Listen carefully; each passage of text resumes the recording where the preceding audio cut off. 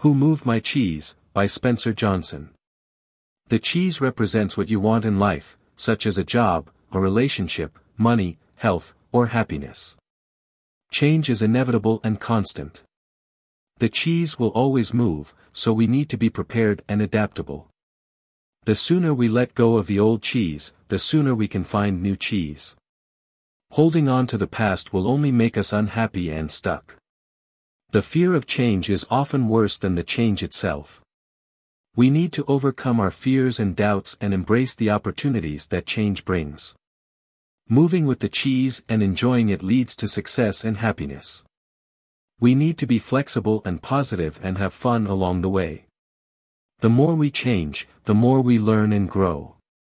We need to keep moving with the cheese and discover new things about ourselves and the world.